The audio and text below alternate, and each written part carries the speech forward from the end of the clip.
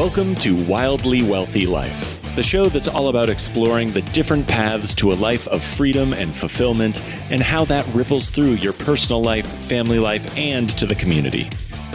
Join husband and wife power couple Lee and Kat Hughes as they share people's stories from different backgrounds and lifestyles about what it means to live a life well lived.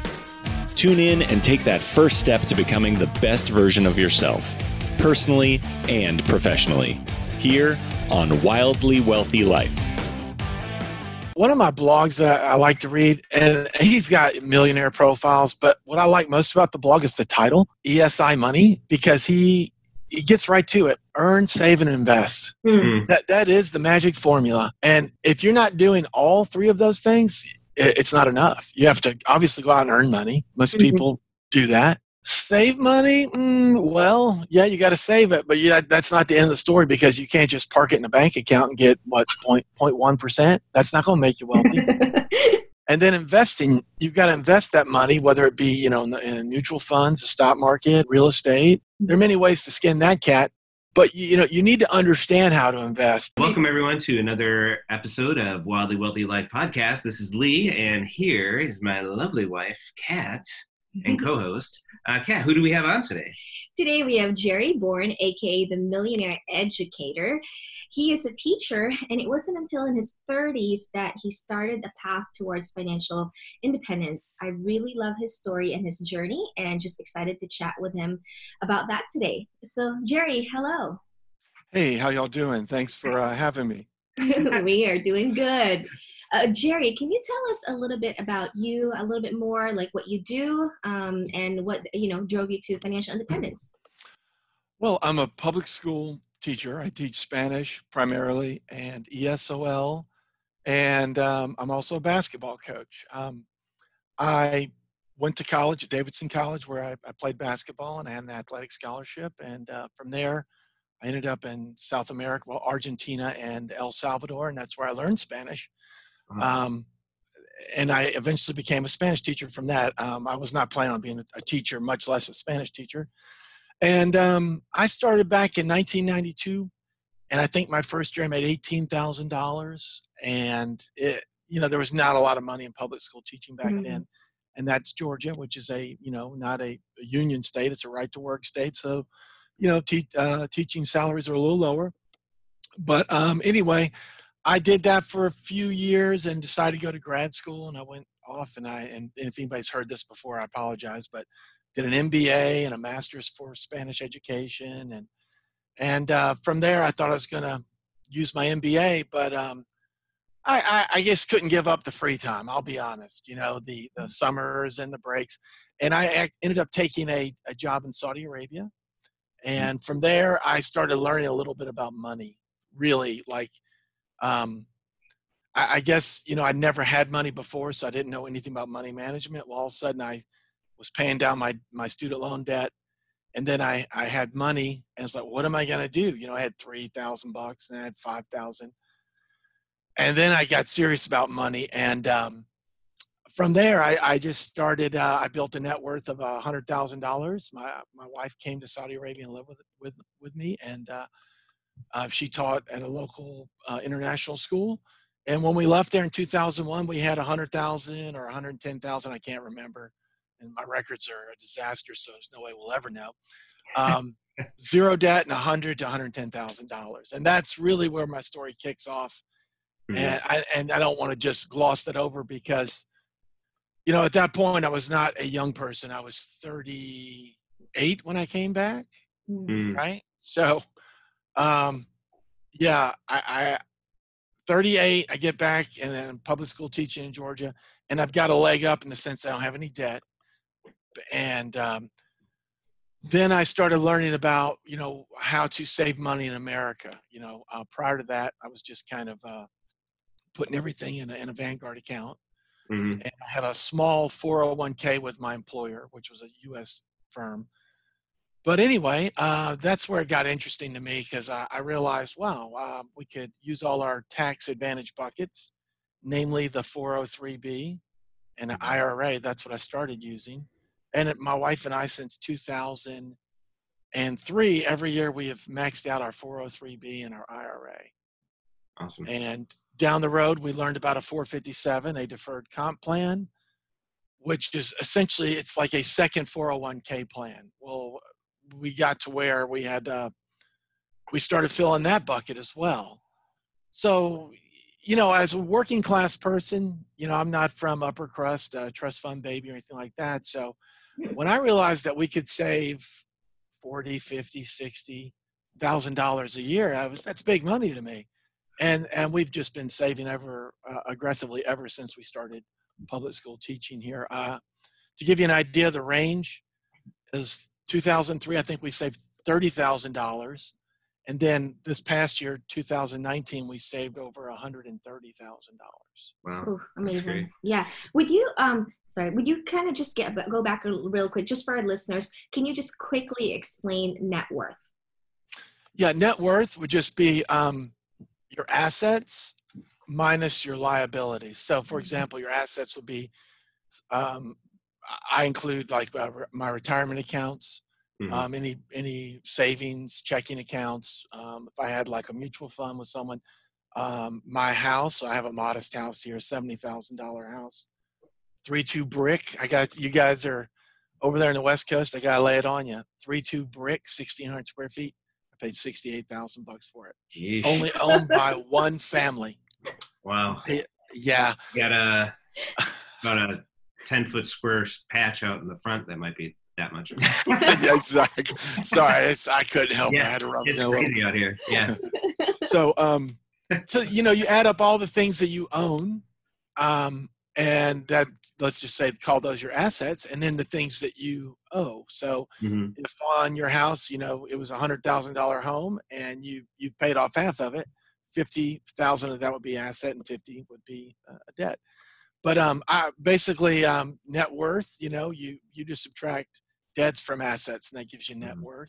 And I like that um, you are focused on that because uh, some of our different guests have been talking about like cash flows and um, not really talking about like the debt to to asset ratios and whatnot. Um, what what what was it about net worth that kind of caught your your heart, your your ideas? Well, I, I well, that's a good question. I've never really thought of that. I, I started blogging, I guess, in 2007, hmm and I just all I was doing was just tracking my net worth, and I, I guess I figured that was like a scorecard, Yeah. Mm, you know, because as you know, there's a lot of people who earn good money and they don't save their money in their in their accounts, and uh, they don't really know what their net worth is. And I think you should always know what your net worth is because it, it's like you know, um, it's like keeping a track of your weight. You know, I don't like focus on it 24 seven, but it's good to know knows you know Mhm. where you are. Um, but yeah, and I can understand why people might want to track cash flow.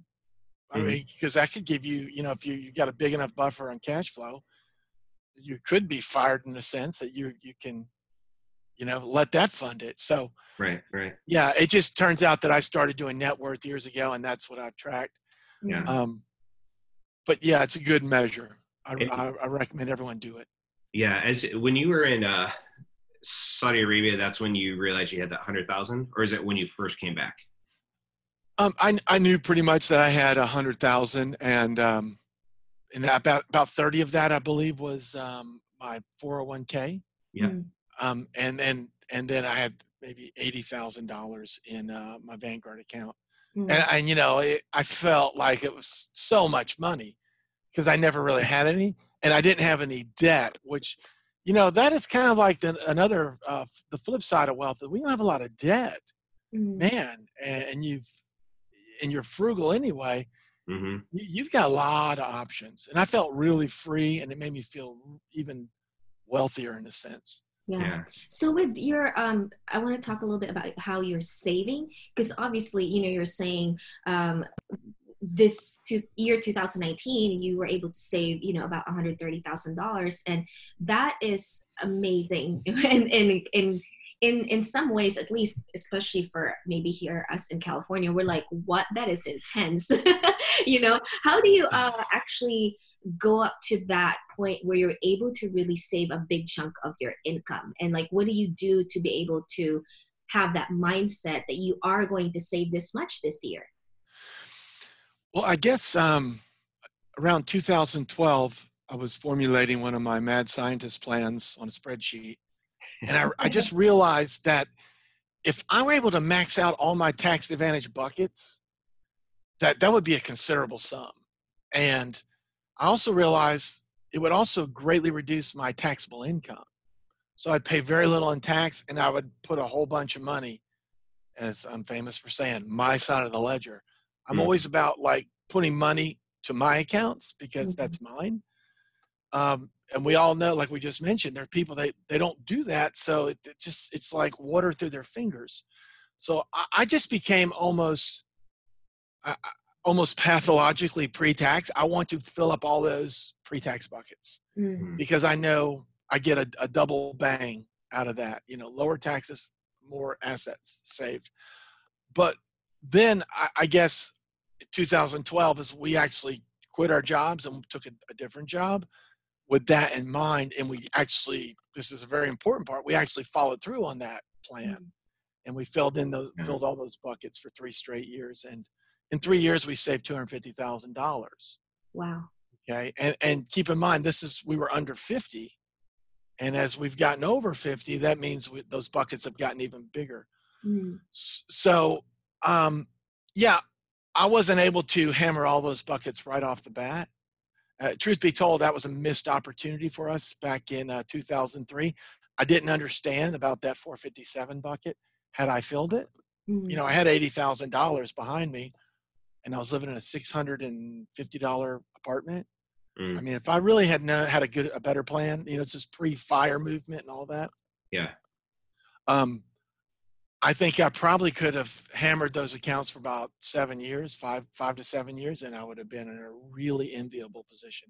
But that this was a play, this was an unknown playbook mm-hmm. back then, essentially. Yeah. yeah. So still getting written right now too. You know? Yeah. Well, I mean, I guess my point is, is that if you're in a position right now where you have a job that that you have these buckets you can fill, and you have some money, like in the form of savings, that that you could tap, you could take that job, that money from your job, and just defer it and blow up your accounts. And um, you know, right now in the in the current state of the market, you might be picking up some uh, lower lower prices on your investments. I mean, I know I've mm-hmm done a lot of uh, uh, maneuvers here in the last three or four days. Mm-hmm. But um, I mean, it, you got to be aware of what you can do, right. and then at some point you got to do it. Um, and if you can't go 100% in right off the bat, that's okay. You know, uh, my case it was somewhat gradual. Mm. Can you talk a little bit more about those buckets and just kind of you know give a little bit of uh, background on each of them? Yes. Um, well, it, most people are familiar with a 401k, and that's probably what most people have. Now, mm-hmm. if you're a, a teacher or a public service employee, you're you're going to have a 403b mm-hmm. more than likely, and that's analogous to a 401k. Now, public service employees and, and, and educators um, often have a 457 as well, the deferred comp plan, and 403b and 457 they're not um, the contributions are not coordinated which means you can fill them both up all right? And so you know um, firemen policemen uh, county government employees teachers we're not known as like making the biggest bucks but you know it's kind of ironic that we have this this savings advantage in a sense so I, I get it you're not you don't have money shooting out your pocket, hundred dollar bills falling out. But if you can find the way to fill these buckets, those two buckets in particular, it can be um, quite a bit of savings. In addition to um, the 403b or 401k, you know, those those are the two that generally people have.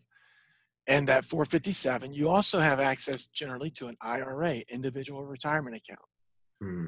All right. And the case, uh, I, I, let's see, what is it? $6,000 a year you can do in 2020. Mm-hmm. And being that my wife and I are over 50 years old, we can do another thousand. So that's 7,000 for us times two. So that's 14,000 more dollars. And um, so that's the third bucket that we use. And the fourth bucket would be the health savings account. We use a high deductible healthcare plan since we're all healthy.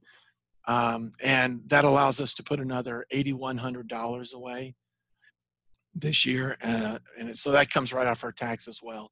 So just to give you an idea, our two IRAs and the health savings account, that is $22,100. Mhm. All right. And our 403B 457 buckets, that is, make sure I'm telling you right, I believe that's $104,000. Yeah. Wow. So yeah. So you know that that, that that's considerable. That's six figures that you can make disappear. Um, and even if you're not over 50, um, what is it, 19.5, I believe. So what's that, 39? And if you're married, that'd be doubled. So Mm. I I don't want to go on the, it's, it's kind of confusing doing numbers like that. But I mean, a, a married teaching couple has access to, a, if not a hundred, a little shy of that. I'd have to get Mm. a pencil and paper out Mhm. Wow. and that'd be a lot of lot big buckets to fill. Right. Yeah. Yeah. That's awesome. Yeah. Yeah. That's those are really, really good nuggets. Just, you know, again, we have like probably we have a lot of friends who are teachers. So if you know, this is an encouragement for everyone listening out there who are teachers that, you know, these are buckets that are actually available out there. And it's it is funny you're saying how ironic it is that teachers probably, you know, don't make the the ones that don't make the most, yet there's this advantage. Yeah, yeah. I mean, I I know people in the private sector say, "Boy, I wish I had access to that." Mhm. Yep. Yeah. Yeah, Yeah. I would I'd want that too. Now, um, Le- Can I just put a caveat in there real quick? Yeah. That j- just be aware that um, 403bs are probably the most expensive investment plans in the nation. Mm. Uh, the average expense is 2.25 percent.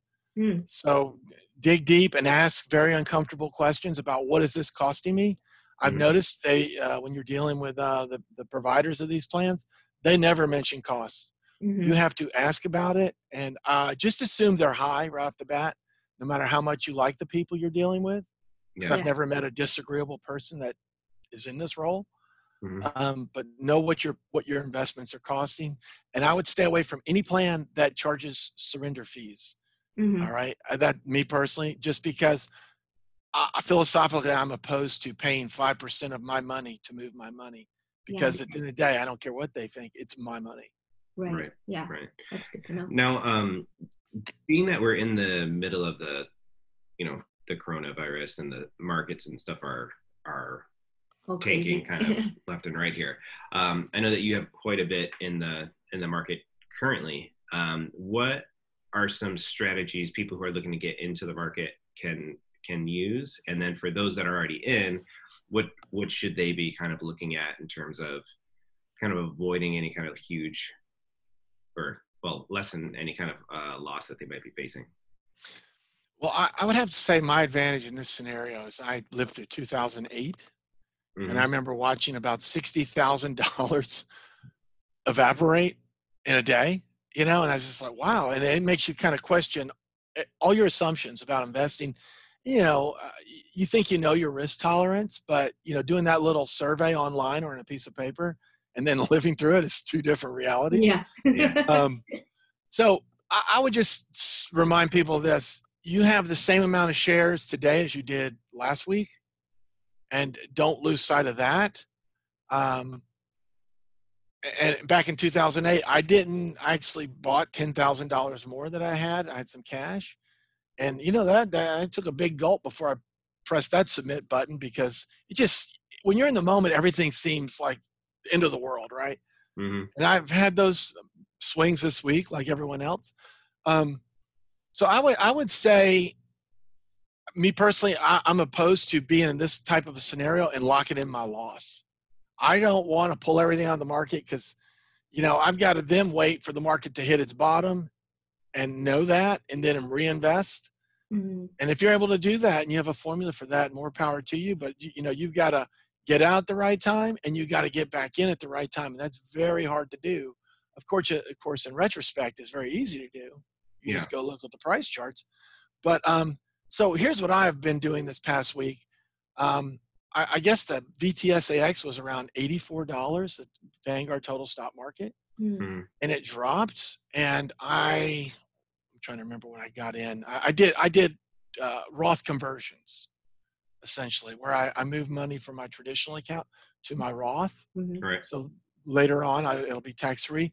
But I, I've done some, I guess, four days in a row. I've moved. My wife and I've moved about thirty three thousand dollars over, hmm and I think we one day we got it at seventy dollars a share, and then fifty eight, and then fifty six. You know, you're not going to nail it perfectly, but you know, thank God we don't have to do everything perfectly in life.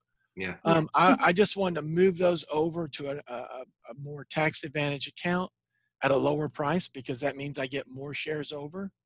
Mm. Um, and and so I haven't done all the converting I'd like to do this year, but I'm also you know waiting to see if any if it gets more volatile.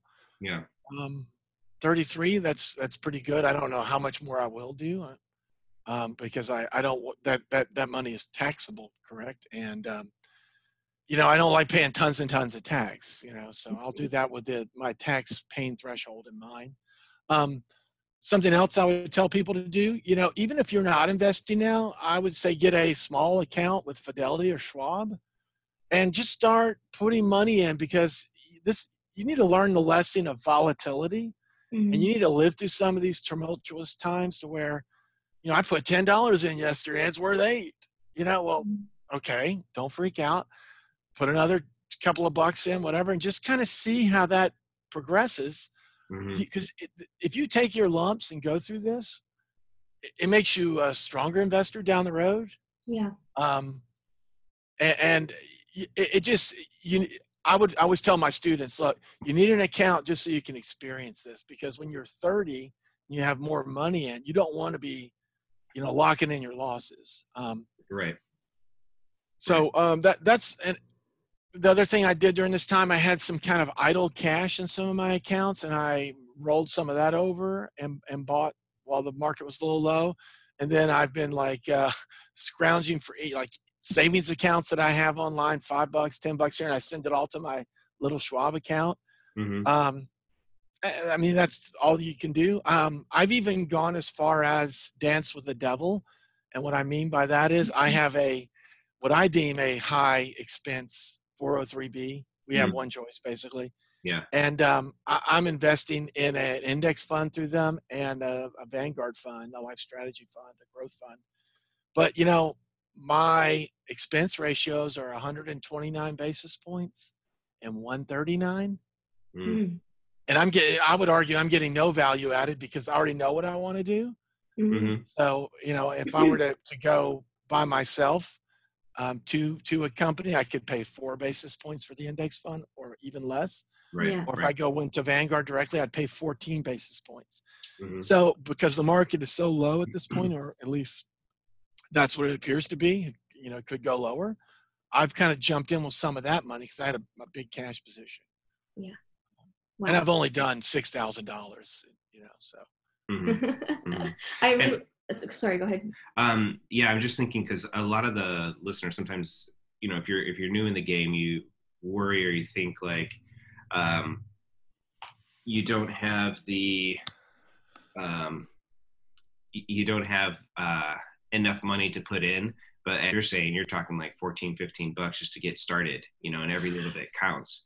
Oh yeah. Um, You know? well, I mean, at, at Fidelity and Schwab, uh, maybe I'm wrong on this, but I'm pretty sure they have no minimums. Like you could start an account for a dollar. Right. And, Right. and yeah, and then what, what I was referring to the the 14 was the 14 basis points, the fees. hmm Those are that's you know four to 14. Those are pretty low, right? Yeah. So my my thing is, the big impediment for many people is just opening the account. Right. you know, because you've never been on those sites and, and you freak out. Once you get those open and you get your bank account attached to it where you can send some money over, well, now you, you can experience the magic, so to speak. Um, Mhm. but if you don't have those accounts open, you can't invest. Yeah. Yeah. I know a lot of people, that's their problem. They don't have anything open. They don't know what to do. Yeah the first step is pretty much like you open the account you know you find an you find um, a place where you can open an account that doesn't have minimums and or if you have you know some money to put in then you can obviously meet a minimum if there is one Mhm. um, but what i really really love like just kind of the nugget that i feel like i want to really reiterate to our audience is how you said you know if you can go through a down market like this and come out and you experience it. It really does make you a stronger investment later down the road. And i think essentially that's what we want to do as people who are always wanting to grow in not just in in the financial independence space but just in life in general.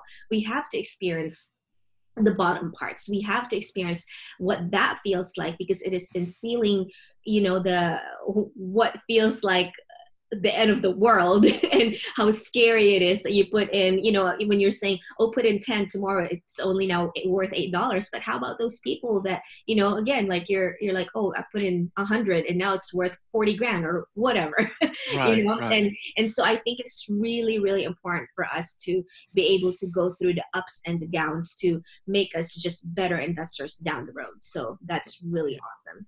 Well let, let me illustrate that point as um last podcast I did, which wasn't that long ago, maybe four weeks ago, uh, my net worth was almost 1.6 million.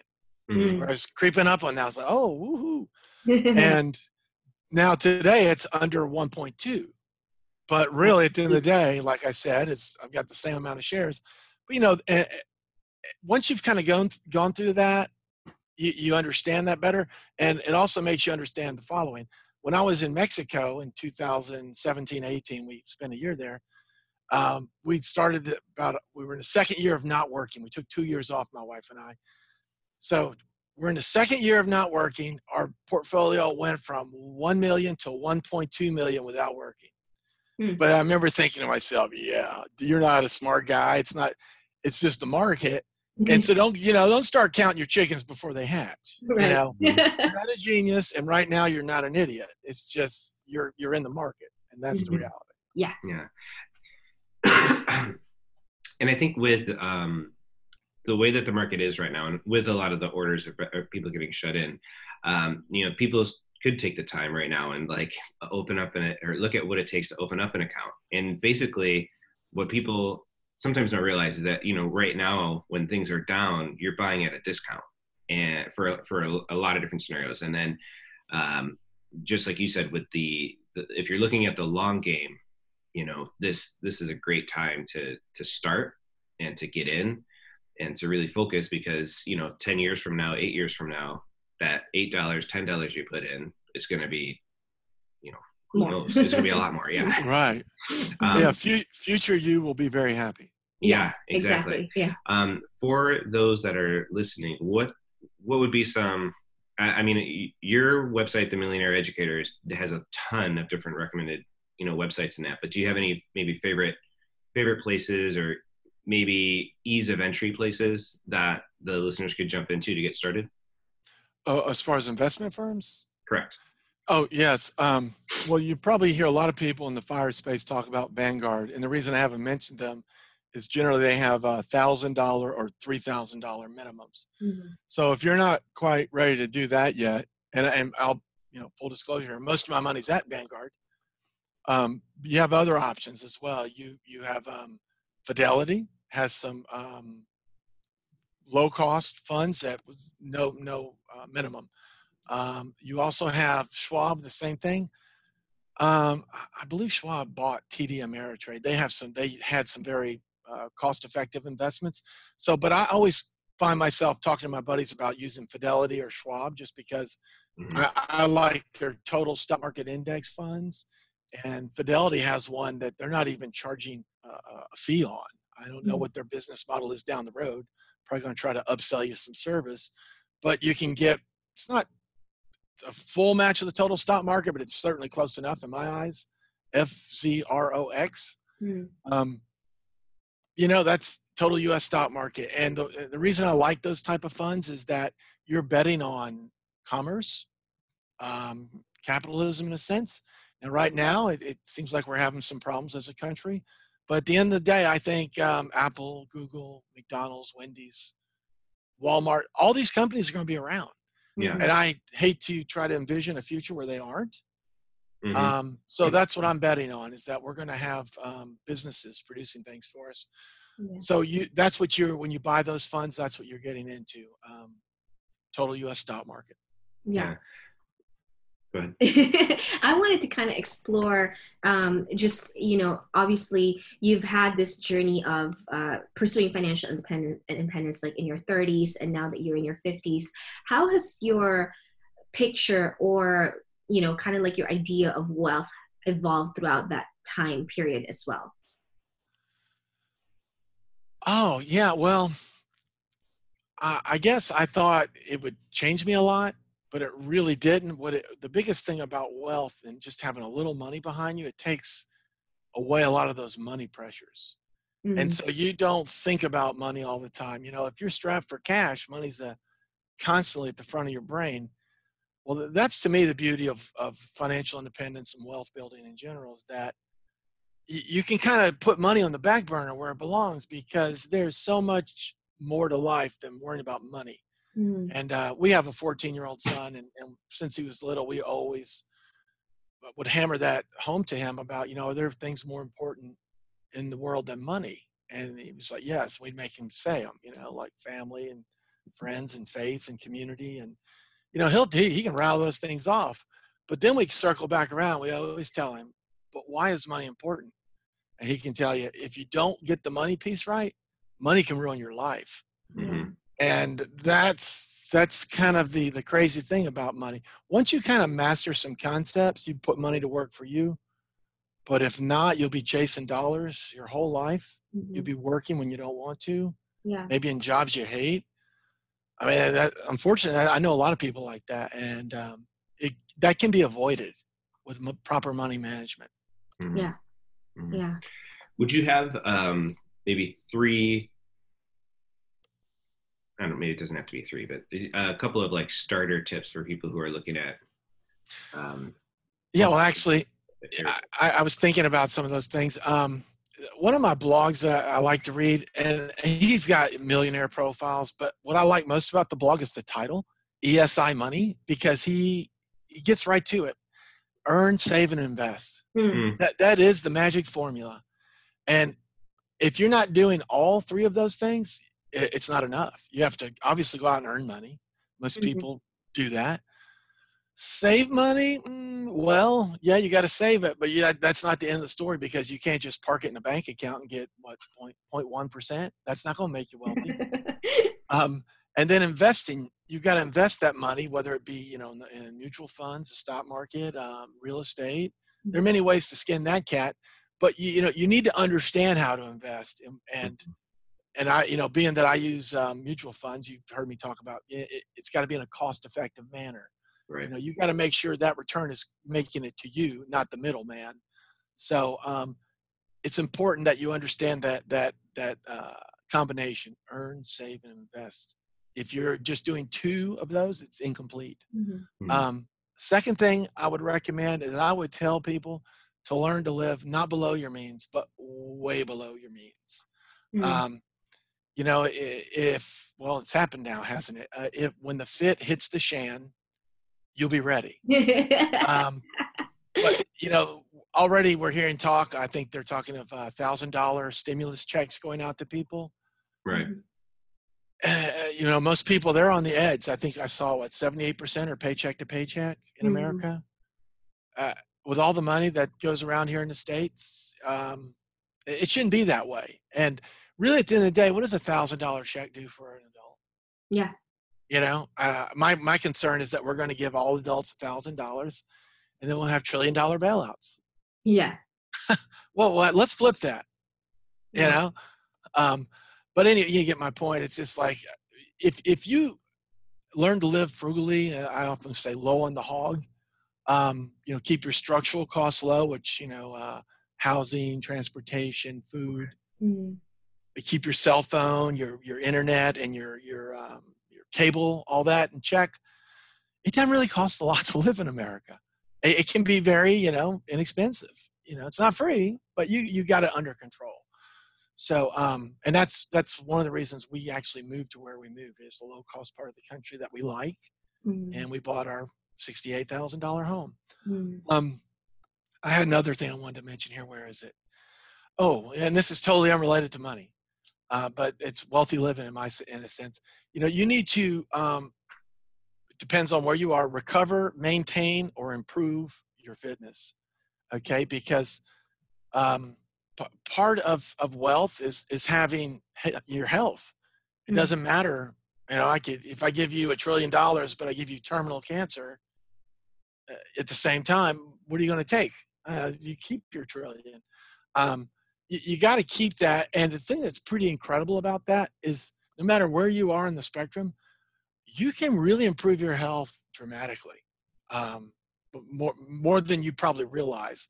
Um, with uh, you modify your diet and your eating habits, um, some exercise, natural light, fresh air, uh, throw in some weight training or calisthenics. Holy cow, it's um, it's shocking. And I say that as a person who, in 2011, I lost 30, 35 pounds, and I kept it off. Wow. And good. I, I run every day.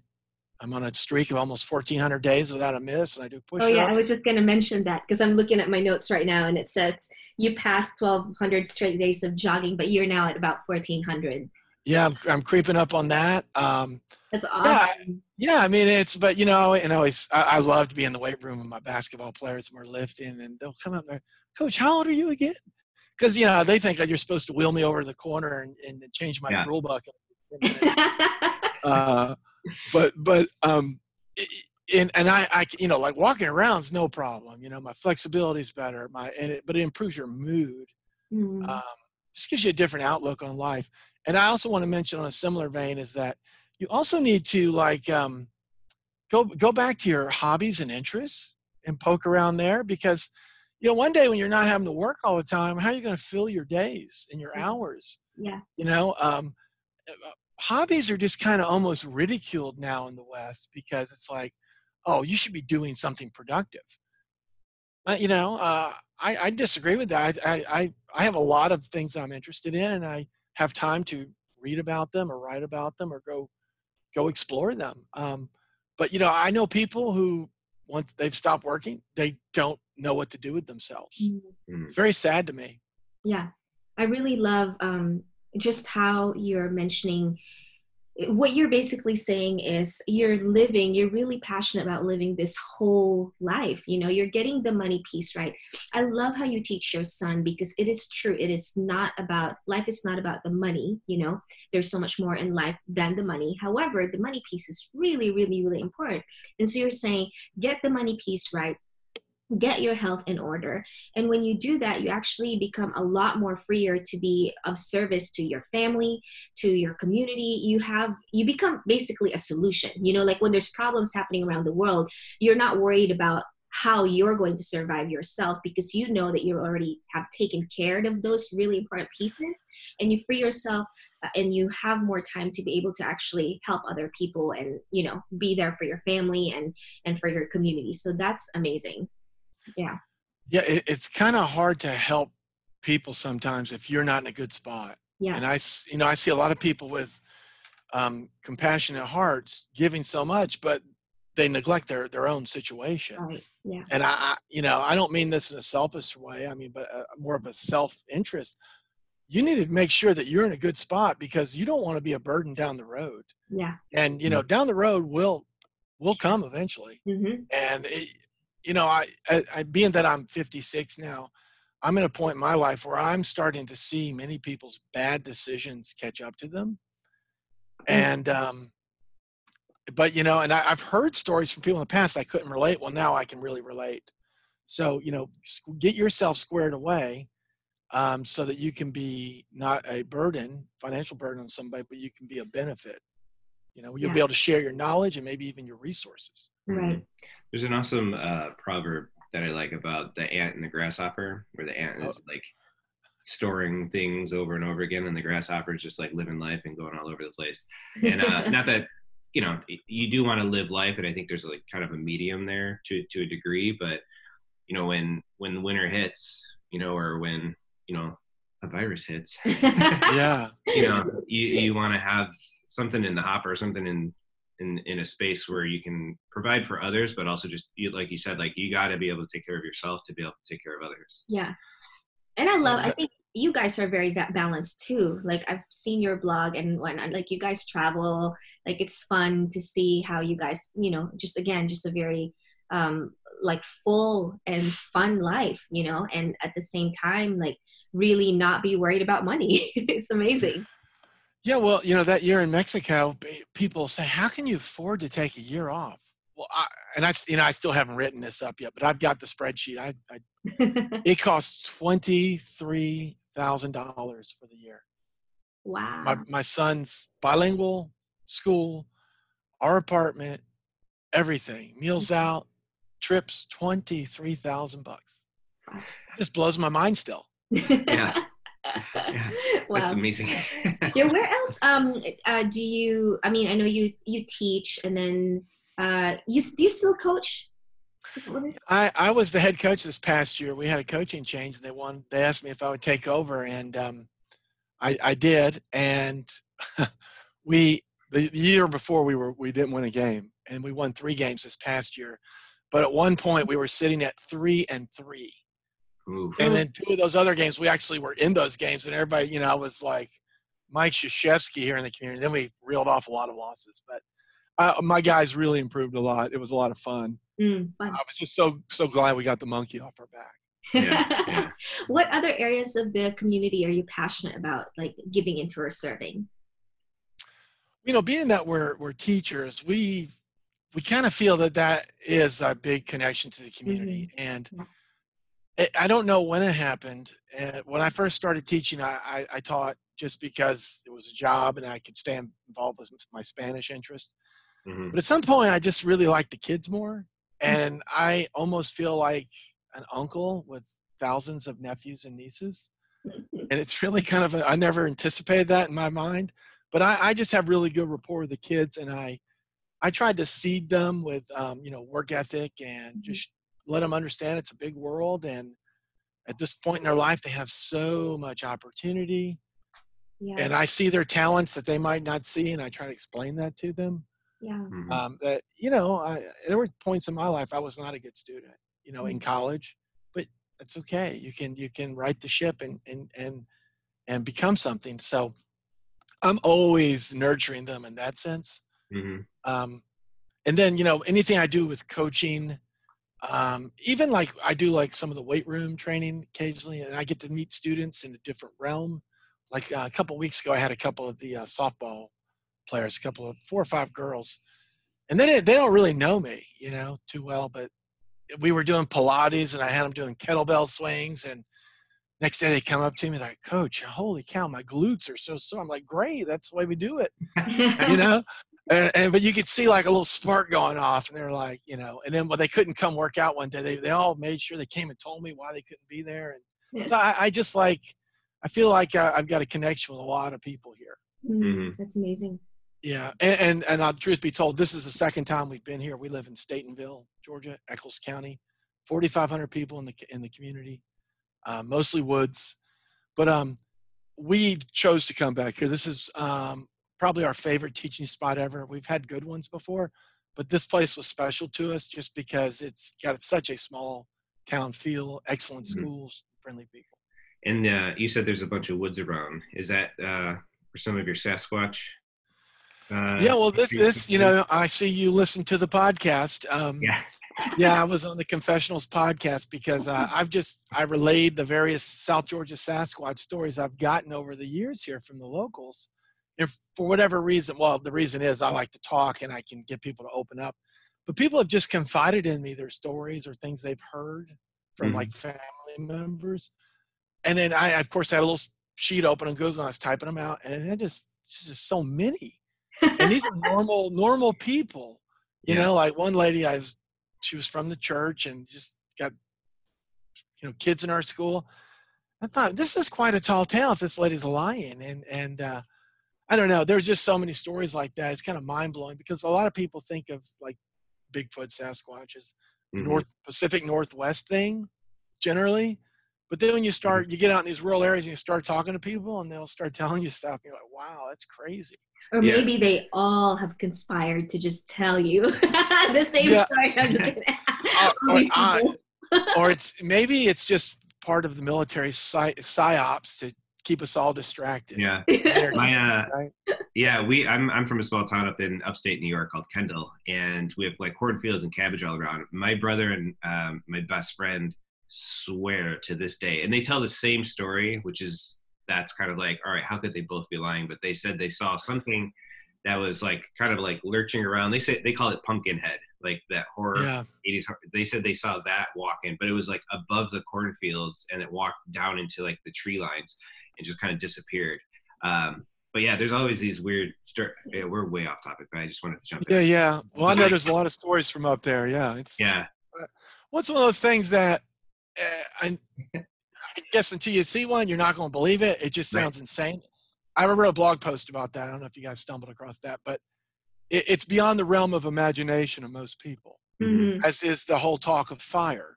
right. Like, Yeah, what do you mean? exactly. You could work seven years and be retired? Well, yeah, if you have a plan, you actually work it. But Mhm. certainly within 10 to 15, if you know what you're doing. Yeah. Yeah. And the, who tell you know that makes me a crazy man to some people to talk like that. Well, you start talking about a, a seven to eight foot hairy primate, you, you're in the same realm. You know, people are going to be they're going to believe what they what they believe. And, Bigfoot and I don't Prime have is the same. yeah, that, that that blog post actually made the front of um, Rockstar Finance. Yeah, And that was really cool. Of course, I was so excited about that. right, right. It's amazing. it's just awesome because like that is such a good analogy because I know like in my you know my my work circles sometimes we start talking about like you know just the the freedom or the uh, the ability to you know purchase like homes or real estate or um, just different levels of uh, investments and where where some of the our our net worth has been going it's just like you know they they can't relate they can't see it because they haven't gone through it you know Mhm. and uh, Right. it's it's breaking things down into little kind of baby steps almost to get to get the everybody to to understand and to start really thinking about their own personal finance and really start making the moves towards that. And it's definitely a- a it's paradigm a- shift. yeah that's what it is it's just like a shift in your mind you know it has to shift because if you don't shift obviously you know like you'll never get out of um you know where you've been this whole time you know so so it is definitely Yeah. i'm gonna have my perspective shift about a bigfoot so Uh, I'll send you some links. Okay, okay, maybe I'll get like a paradigm shift all of a sudden. all right. Well, this, this has been such a pleasure. I really, we really love chatting with you. Um, just to close it out, uh, we kind of want to know what your three actionable tips. I know we touched a little bit, and you have you've already given so many good things. Um, but just three quick, short tips that you want to share with our guests for them to be able to live their wildly wealthy life. Um, uh, number one, learn to become a hardcore saver. Get serious about saving your money and investing it. Um, two, cultivate a awesome frugal lifestyle that you like, where you like your life. Mm. And uh, the last thing is, I would say, maintain your fitness and and and cultivate those interests because that should be a bigger part of most people's lives. And most people, it's the you know the drudgery. That's what they're doing. You know, because I don't care what your job is. At some point, it gets stale. Hmm Agreed. Yeah. Perfect. Awesome. I love that. Okay, we are now on our quick 10 rapid fire questions. These are 10 questions we ask all our guests. We ask you to say the first thing that comes to your mind. Don't censor yourself. We'll keep it quick and concise. Some of them are questions related to our podcast theme, and some of them are just fun things we want to know about our guests. So, are you ready? Yes. Okay. Number one, if you could choose one book to live by, what would it be? Okay, I'm not going to filter myself. The first thing that popped in my head was uh, cashing in on the American dream, how to retire at 35. Nice. Cool. Uh, your personal hero, living, deceased, someone you know or maybe don't know. Ooh, uh, John Bogle springs to mind. Um, We'll yeah, he, he, he could have been a billionaire, but he chose to make millions of people millionaires. Wow, that's awesome. Number three, the one thing you intentionally have to do every single day. Put on my running shoes. Have to do it. If not, uh, my day is off to a bad start. Okay. hmm Uh, one hobby that brings you the most joy. Hmm, hobby that brings me the most. I guess probably foreign language study. uh, on Duolingo, and it, it keeps me humble because I, you never know all of a foreign language, and some of them you just you just flat out suck at. I I look German, but my German's horrible. okay. Number five, most rewarding thing you've done for someone in need. Oh, let's see. Um, bought hotel rooms for uh, family members at a at a wedding. You know, we just had the ability to do it, so we did it. That's yeah, that's awesome. awesome. Uh, first movie quote that pops in your head. Oh gosh. Um, uh, first movie quote. Um, oh wait, I'm something about you can't stand the truth. Yeah. Um, I, I, was that Jack Nicholson? hmm Yeah, well, there's a lot of things that when the truth gets there, people just don't want to hear it. Exactly. Just like fire and Bigfoot. All right, go, going back. okay. Uh, number seven, last big purchase you made for yourself. We bought our first flat screen TV a couple months ago. We didn't have a TV for a couple years. We bought one. Oh, Nice. Awesome. nice. Um, a food you cannot live without. Number eight. Blue cheese. blue cheese. I love blue cheese. It's my favorite thing. no, very specific. Number nine, what is your spirit animal? Spirit animal. Um, uh, wild stallion.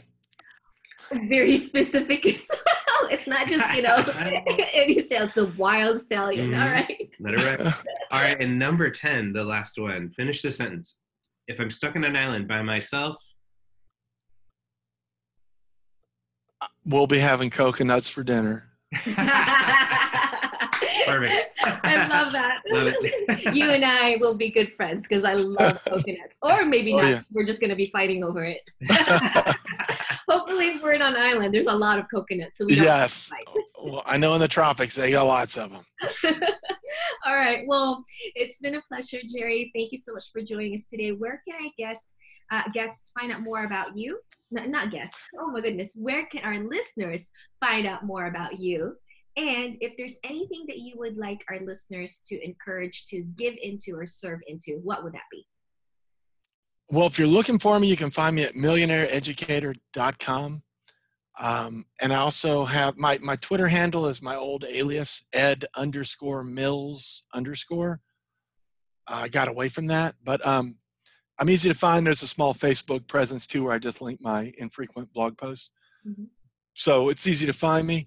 Um, I, I guess the last thing I'd like to tell the listeners is when it comes to financial independence and other so-called impossible things, you might want to do a little. You might want to check your your mind your your your mindset on that those subjects Mm. because a lot of things that you assume are impossible, they're not. Okay. Thing is, it might take a, a, a little plan, a little execution of the plan, but the first thing is you got to change the way you you you mentally think about things. That is a big uh, uh, step in any success. And that's the kind of thing if I heard years ago, I would have just poo-pooed that. I was like, that's that's too, you know, for lack of a better term, too artsy fartsy for me because I'm more of a doer. Mm, But yeah, you you, you got to kind of just think about how you can do things and then get your plan of attack and follow through. You'll you'll probably surprise yourself. Awesome. Thank like you. that a lot. Yeah, Yeah. thank you very much, Gerry. It's been really fun. Yeah. it's You have been any exciting Thanks. plans for the day? Um, well, we're here quarantined, so we'll probably go for a walk at about six o'clock. Um, then uh, we'll we'll cook some dinner and we'll break out some red wine here before you know it. It is Saturday night after all. Right. And then being that it's Saturday night, we'll all have to take a, a shower for first of the week so we can go to church tomorrow. No, I'm just kidding. Once a week shower just before church. Perfect. Perfect. well, this quarantine living is very similar to a lot of fire living. So if you don't know what to do with your time, you might not want to like, you might want to skip the RE part of fire. yeah. I'll leave y'all with that. Just be financially independent. You don't have to retire early. yeah, Yeah, you don't have to. Totally optional. yeah. Perfect. Well, thank you. yeah Thank you. very and much. Best of luck with your podcast. I cannot wait to, to listen to your guests. Awesome. Thank you. And next week we have Monique Ham, who I am super excited to see as my wife has met her a couple of different times. And I just love the networking and all of the real estate tidbits that she's able to share. My wife has grown so much just in the last six months. Mm-hmm. And it's it's pretty impressive. Yeah, so make sure you check out her episode next week. She is my mentor and she's a woman real estate investor, which I love. And if you were inspired by today's message, make sure that you at least share it with one person or two people that you know will be impacted by it. Go to iTunes and like and subscribe. It would help us out greatly. Thank you. Thank you for tuning in to another episode of Wildly Wealthy Life. We hope that this episode has helped you take another step towards living fully, giving freely, and building a legacy that deeply impacts your community. We'd love to hear what you think about today's show. Please leave us a review or like us on iTunes and YouTube, and click the subscribe button so you won't miss a show. You can also visit us at wildlywealthylife.com for today's show notes. See you on our next episode. Thank you, and may you live a wildly wealthy life.